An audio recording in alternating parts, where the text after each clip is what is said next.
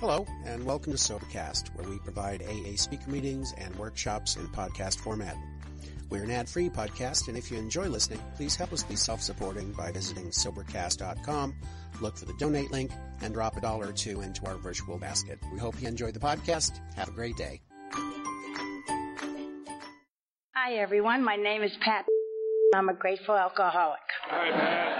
Please excuse my voice. I've got a bad cold. We come from the north and it's cold up there. Uh, I want to thank the committee uh, for inviting my husband and I here, and uh, John, our hostess, and um,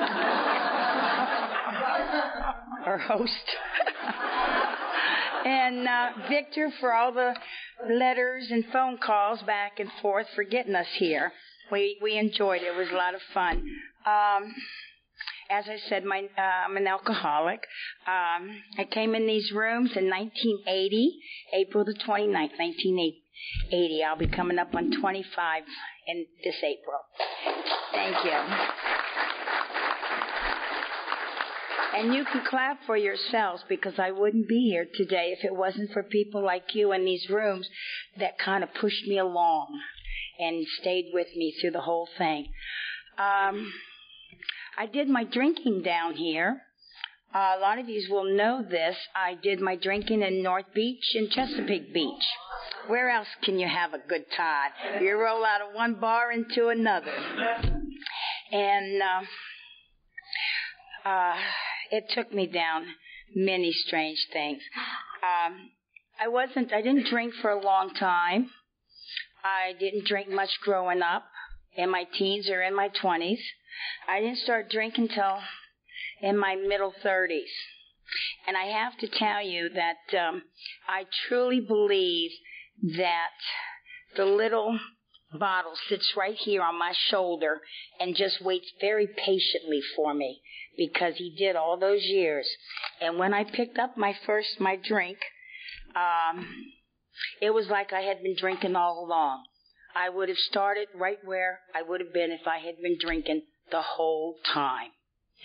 Um, I went to, as I said, I started drinking in North Beach. My oldest daughter had left home to uh, go live with um, motorcycle guy in North Beach. We had disowned her, so I was going to bring her home. And I was a typical PTA mother. We had a nice home. My husband had a good job. We belonged to the country club. We had horses.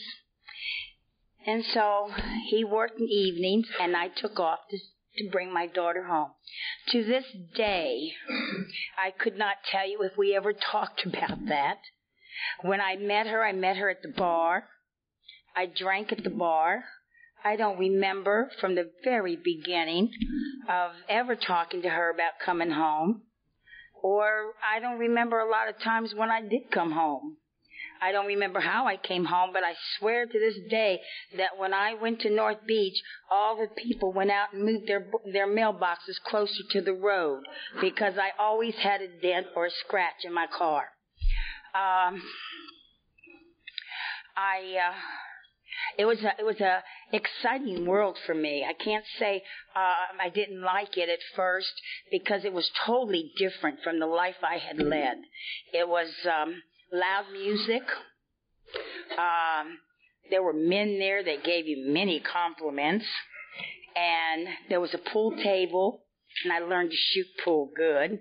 I belonged to the uh, Blackie and Lil's pool uh, thing, if anyone remembers that. Blackie and Lil's. I, I know when I quit drinking, it, it closed down, really. Um, I started wearing tight clothes, tight jeans, high heel boots, hair tees to the hilt, makeup on, and I'd go in there and I could, after a couple of beers, I could dance better, sing better, talk better on any subject, and do anything you wanted and shoot pool. And then I got violent. Then I got nasty. And I would get into fights. And I'd come home and not know where I got this busted lip or this bruise or why my blouse was ripped or what. I don't remember too much. I do remember toward the end that um, and my daughter never came home, by the way. Um, I do remember toward the end that um, I told my husband. Of course, he kind of found out. He come home early one night, and I didn't come home till after last call, and uh, we started having problems at home as well. And I said to him, "I got to get away." I got to go away from you, away from everybody, and I got to think this out. Because I didn't know what was happening to me. I thought I had another personality, and that personality was taken over, and I was starting to get hurt a lot because I was getting in fights with men as well. And uh, I just knew I was going to end up dead. But I didn't know how to stop this. I really didn't. And I was so worried about it, and I was so scared. So I packed up a little bag and I went to North Beach and got me a room. My daughter and her bunch would come over and we'd party hardy. About four days later, I'm sitting in the living room of this place and I'm looking at her and I'm looking at the people around me and I'm looking at everything and I'm wondering, where am I? What the hell is going on here? And I went into the bedroom and I sat down and I said, Dear God, I can't go on like this. I can't embarrass my children and my family or anything. I am just, you know, something has taken over and I am evil. And down then, when we had horses and all, I also carried a gun. And uh, I sat there and I thought, well, you know, I'm going to get hurt. I'm going to embarrass my children. I'm going to get arrested. Something's going to happen to me. And if I wasn't here, maybe my family would come together. And I took that gun and I put a pillow to my stomach and I shot myself. That bullet ricocheted in and out of my intestines. I carry that bullet today in my right hip. I ended up at shock trauma they cut me from one end to the other, laid my guts out on the table, and sewed me up. And they told my husband, I don't think she's going to come back in one piece or have all her facilities with her. And I did. Nine days later, I woke up and I was okay. And if that ain't a miracle, I don't know what is. As I laid there in the bed, Father Alexis and brother brother Alexis and, and Father Martin were doing a tour of the Baltimore um, tra- uh, trauma unit, and uh, the nurse, which was a male nurse that took care of us because he had to turn us over and everything, told him about me. And these two priests came into my room and they started talking about alcohol and what alcohol did to them and where it took them. And I had been raised Catholic, so I, of course, I sat up and paid attention. And um, I thought, oh my God, I'm an alcoholic. I'm not crazy. I'm not two different people. I don't need to be put away. I just need to stop to drink.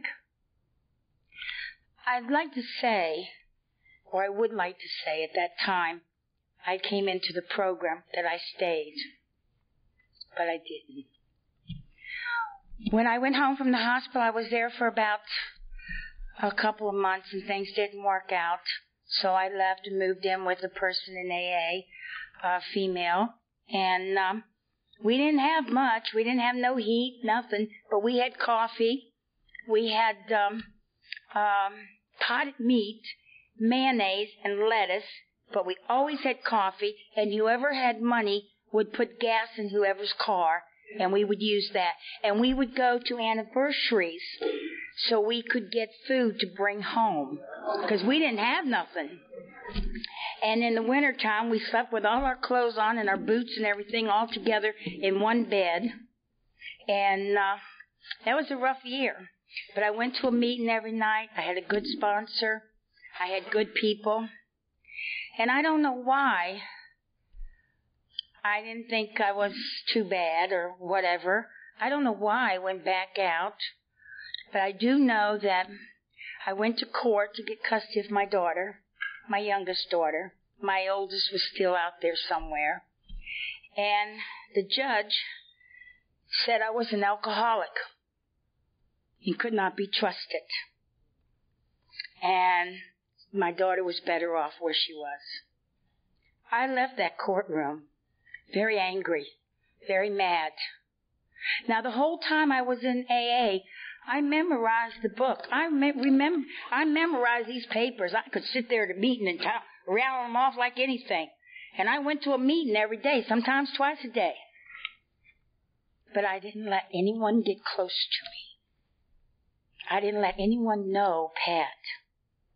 So when I came out of that courtroom, and my sponsor and a couple of the ladies were there from the program, I told them what they could do with their program. Now, at that time, I was working at the uh, nuclear power plant down there in security, and it was the outage. And they had a great big parties all the time. And I went to one of these parties. I can't tell you when I picked up that drink or what happened. All I know is I went to the bathroom, fell off the toilet, got up, looked in the mirror, and I was drunk. I couldn't tell you three days later where my car was, where I was, but you know where I ended up? At an AA meeting. I walked into that AA meeting three days later with a six pack under one arm and a bottle of beer in the other, drunker than a scoot, and I went in there and I let them know how mad I was and how angry I was. And I had stopped drinking for a year. Why did they take my daughter from me? I don't know too much of what happened after that. But I know I woke up about 17 hours later and I was in a strange bed in a strange place I didn't know. And I looked out the window where the bed was, and there was a church across the way, and there was a cross on the church. And I said, Dear God, please, get me out of this, please. I don't know where I am. And at that time, I heard somebody say, Oh, you're awake. Would you like a cup of coffee? And I looked up, and it was someone from AA. They had taken me home to their home. They had cleaned me up, and they had put me to bed in a nice clean bed. It took me, I'm ashamed to say, two weeks before I walked through the doors of AA again. I was so embarrassed and so humiliated. And that was April the 29th that I walked into those rooms, 1980, and I haven't seen a, a reason to take a drink today. And I got a new sponsor, and I got a tough sponsor, and she was tough. She took me through the steps. She took me, she made me go make coffee. She made me do a lot of things I didn't want to do. She made me stand up in meetings. She made me tell people how I felt. And God bless her, she's dead today, but um, she was a great lady. And she I had a, a support group. She had a group of girls she sponsored, and we all just hung together. She took me to Loyola, my first woman's retreat. And all I could remember from that weekend was, wow, I spent a whole weekend with 75 women and we didn't fight. and it was terrific. I see a few people here that knew me when I first came in this program that uh, live still live down in North Beach or down near that way, um, and uh, I kind of lost my train of thought here. but anyways, um, I stayed with this group of women, and we we did everything together. And one day, everything was very quiet. Everything was very calm. The sun was shining. I had my own little apartment then because my sponsor pushed me to work and to do this and do that. And I thought, oh my God, it's quiet. What's going on? I called my sponsor in a panic and I said, nothing's happening. It's so quiet. And she says, that's serenity.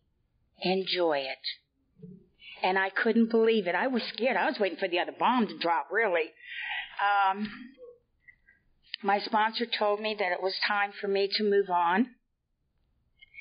And uh, she said it was time for me to get out of Calvert County and North Beach area. That it was time for me to get a job that had security, had health benefits, and everything. And I want to tell you something. This was like three years later, and I kept asking her every year when I had an anniversary, "Can I date now?" And she said, "Oh no, you're too sick." No, no, we have to get you well first. You have to be able to take care of yourself before you do anything. So that's what happened. And so I went and she told me they needed some uh women in in uh, up at the Annapolis complex to protect the senators and delegates and the governor and everything. And she says, I want you to apply for it. And I said, Oh my God, I can't do that. I'm too old. She said, Oh no. You don't fail if you try. If you don't get it, you haven't failed because you tried. It's just not meant for you to have right now. But you can't go anywhere if you don't get out there and do something. And she told me this and she kept telling me this. And so I took the test and I passed it. And I moved to Annapolis. And I started working. Now, here's a drunk who shot herself, who a judge said was unfit to have her own child. And here I am protecting the senators and delegates and governor of Maryland. And I said, wow. And uh, I continued to, uh, to go to a lot of meetings up there. She took me up first and introduced me to everybody at the meetings. And she got me started. And she got me a sponsor who was her sponsor before. So I would have someone when I moved there to talk to. This is what these people did for me. They were there when my husband would tell me I could have my daughter for the weekend and he would come and take her away because he said he couldn't trust me.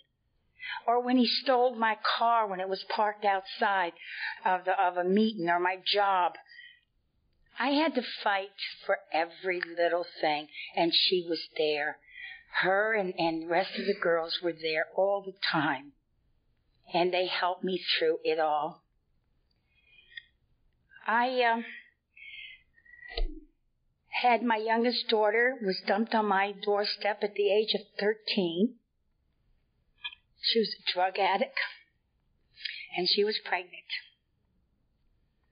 So we had to take care of the pregnancy. To this day, I still pray to God that I'm so sorry, but she was only 13. And I had to put her away so she could get well. And I sent her away to Kepha. And when we got to court and the judge wanted her to come home, I said no, not without counseling and help. And she yelled at me and she screamed at me in that courtroom and she said she hated me and I was the worst mother in the world. And it was like someone had taken my heart and thrown it out the window. I was so hurt by it but I knew I had to stand my ground. I could not help my child. I had to turn her over to someone else. I was too close. And I would enable her to continue what she was doing. When my daughter, youngest daughter, graduated from high school, she walked across the stage and she raised her diploma and she says, Ma, this is for you. So about then, I had been still going to a lot of meetings, talking to my sponsor, had done my steps several times over. I was a GSR. I made coffee at the meetings. I helped cleaned up. And they had a little place in Annapolis called the Red House. And I would go there when I got off work in the morning and I would answer the phones for 12 step calls or whoever needed help. And then I would go home and get some rest, get up and go to work, and go home and change clothes and get up and go to work because I always had two to three jobs. I bought my own home, new home. I bought a brand new car. I had credit. I had everything. And I had the best friends in the world. About that time when my daughter had graduated, I said to God, Well, it's been over 14 years, God. And um, my kids are all growing up now, and if I'm to have somebody in my life, you're going to have to hit me over the head with a two by four because I don't know what to do anymore. So I go to Ocean City for the convention, and I meet this man named Junk from Massachusetts, and we get to talking. With him is my my husband today, and um, he went. Junk went and told him I got a girl you got to meet. She's with the state police. She protects the governor and senators and delegates, and she's been celibate for 14 years. And my husband's ears went up. so one night we're sitting there around the Plim Plaza, and then he comes and he sits down next to me. He picks up my leg puts it in his lap, and says, Let's you and I talk about sex and sobriety. when I got back home, I told my sponsor what this man did. And he did. He made me laugh all weekend. I thought he was nuts, really. And she said, You write him a thank you note. I thought she was nuts. So I did. I wrote to him. And he wrote me back. And we started corresponding. And he invited me up to, to Maryland for Junk's uh, 32nd anniversary. I took my girlfriend with me. Cause I, I was, uh, I'm, I'm the one of these people that I go the same route. I know there's shortcuts, but I go the straight route. Uh, I go to the same meetings. I do the same thing. I just don't like change. So I keep it as simple as I can. But I went across four state lines to see this man. and my God's got a big sense of humor. He put these blinders on me. Now I was a neat freak. Everything in order. I'm an organizer. That's why God won't take me right now because I'll reorganize things. But anyways, I went up there. I pulled in this yard, and I, we had a nice weekend. Then he came down, brought his daughter and some friends, and back and forth, and I got injured at work, really bad. I lost both my kneecaps and part of my back, my spine, and my stomach, and all.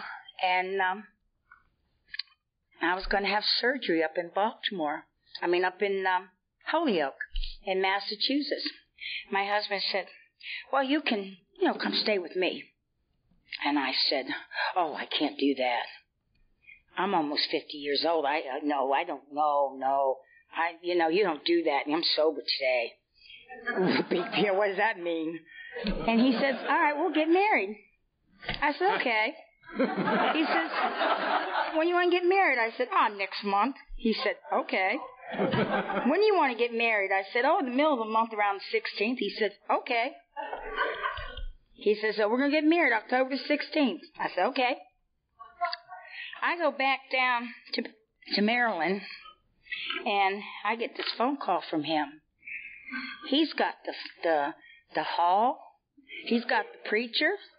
He's got the pictures taker. He's going for his blood test, and I said, Oh my God. I got to get busy. Now, I had to get divorced first. so, you know, I don't like to change things.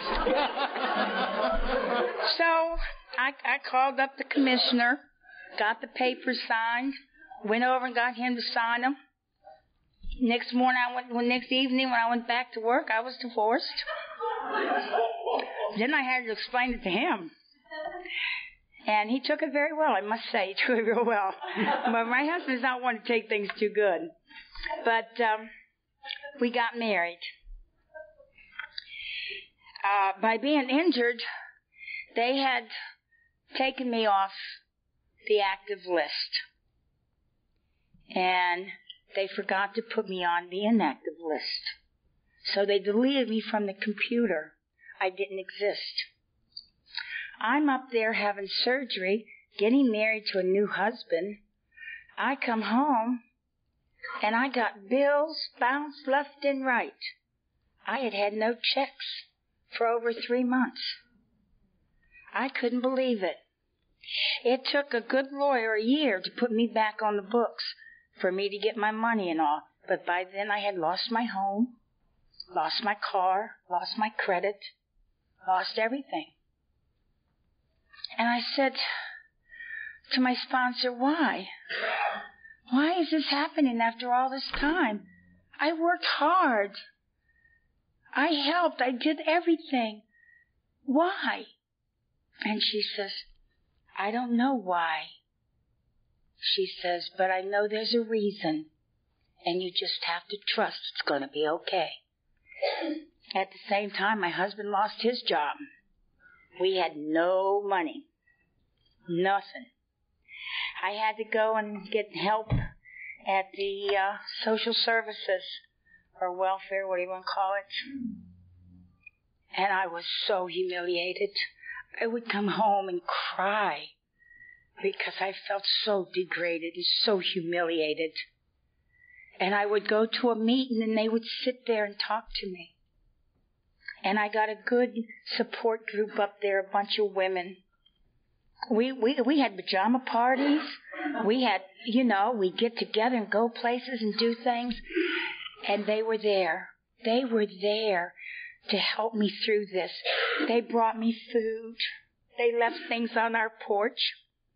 They even loaned us their car to come to the, the convention one year and took up a collection. That's what AA has done. That's what the people in here are. That's what they've done for me. During that time, I get a call.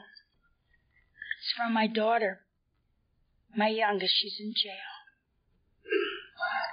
And I said, You're in jail.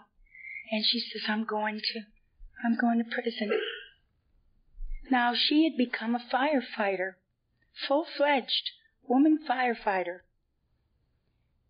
And I said, What happened? They had a big fire and she went out, had a few drinks with the guys afterwards. Ex boyfriend had come in and they got into a fight and she stabbed him. Didn't, thank God, he didn't have to be hospitalized or anything. He had to take a couple stitches, but he left town because he would have gotten in trouble because he was on probation and couldn't be out there drinking and carrying on. I couldn't help my daughter. I didn't have any money. I couldn't even come home. And neither could my husband and they gave her a court, court appointed person, and my daughter went to jail. When we were able to, to come back, I came down to see her, and I walked into that, that jail, and I walked in that room, and they ushered the prisoners in. She was behind this glass. She was all beat up she got into it with the guards and she wouldn't come out from under the bed and they would hit her with sticks and everything to make her come out. And she was defiant and tried to fight him and everything. And she got hit good. She had a black eye and a busted mouth and a broken jaw and, oh God. And I couldn't touch my baby. When I left there, I went outside and I just collapsed on the steps with all this barbed wire around me. And I called an AA person and I talked to them. And I think she's in this room tonight.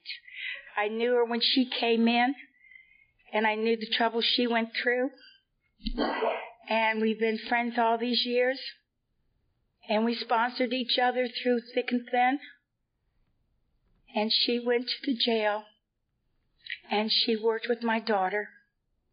And she took her out of that jail and would take her to meetings and then take her home. This is AA working. like that, one to another. My daughter got out of jail early because she was pregnant. She went to a home for unwed mothers. Thank God it was a nice place. It was a nice family, and they took in these girls that needed help. She gave birth to twins, little boy and little girl, and they're my grandchildren, and they're just a jewel of my eye. She's uh, doing really well. She's married now to the father of those children, and uh, she's doing good. My oldest daughter is married and has two, I have two grandchildren with her, and she's doing good.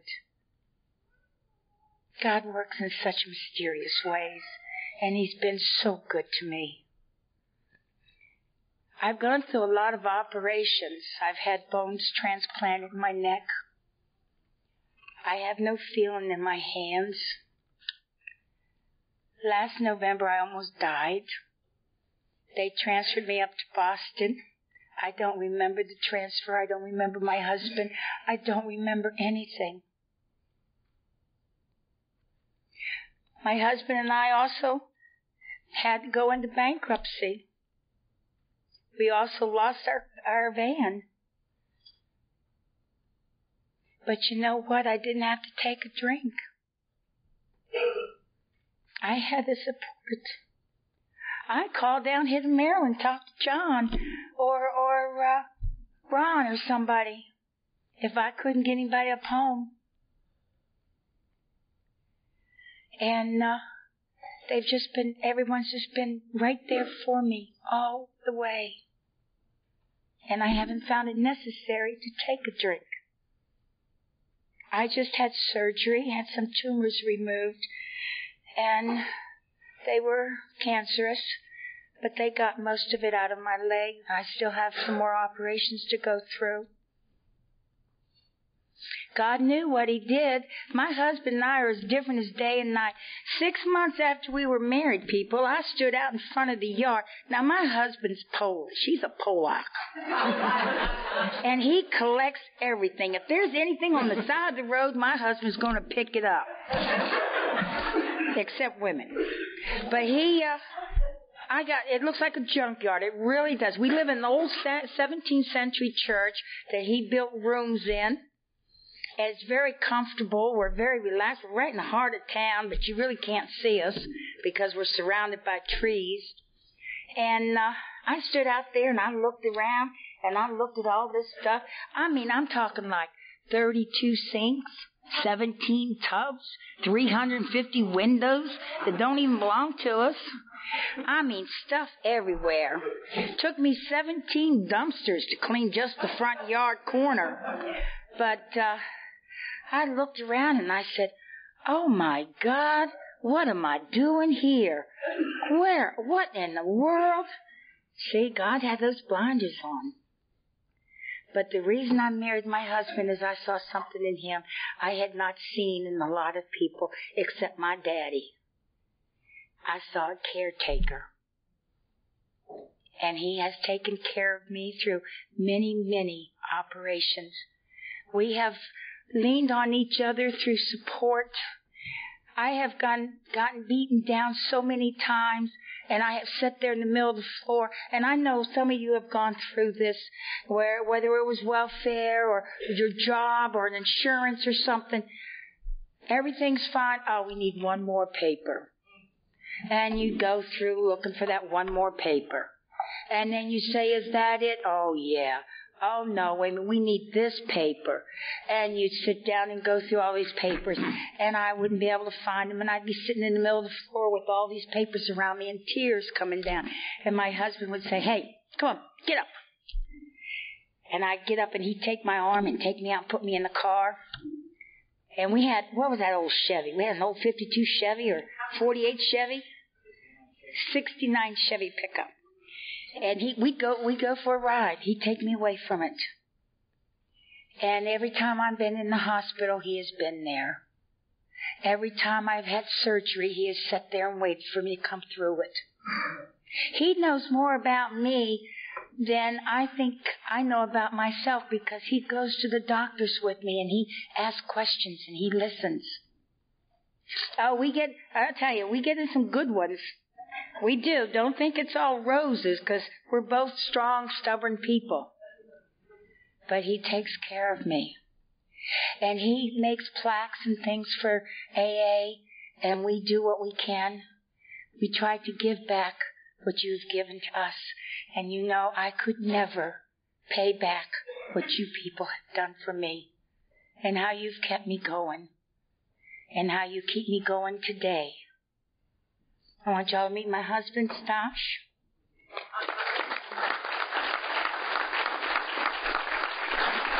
I'm very proud of him and my a lot of friends here. Turkey Man I've known since I've been in the program. My girlfriend Jackie, the one I was telling you about, she's in here somewhere. Where are you, Jackie?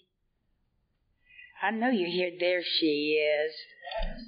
And we just, you know, if you stick to this program, if you listen to your sponsor, if you learn to take care of yourself before you try to take care of someone else, do please give yourself a chance to learn who you are and do the steps and do service and get a group, get a support group and stay together and work at that.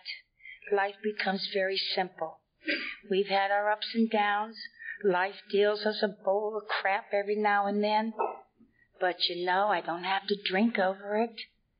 You know, if I drank, I don't think anything would have gotten done. If I drank, I'd probably still be sitting in the middle of the floor doing what I was doing before. But today, I can take care of first things first. I can clean up the mess. I can go through it. And it's because you help me. You give me information. You take me down to where I have to go. You're there when I need you. I don't like going to the hospital. But I'm going to tell you something. I'm like a slut, slut, an important person. Uh, when I go to the hospital because I get a lot of visitors. I get a lot of people come see me.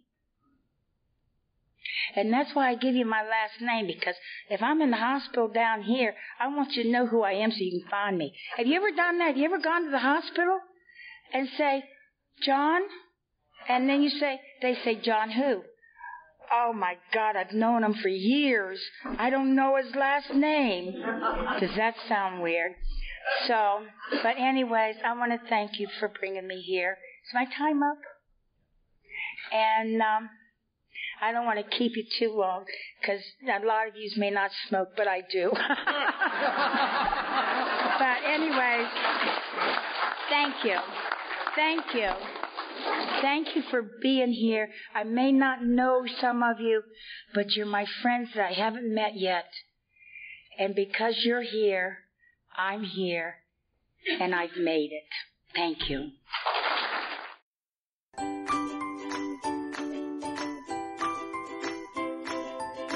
Thanks for listening. I hope you enjoyed the podcast. Sobercast is ad free, and we'd like your help in order to keep it that way. So if you'd like to help us be self supporting by pledging a dollar to a month, visit Sobercast.com and look for the donate links. Thank you very much.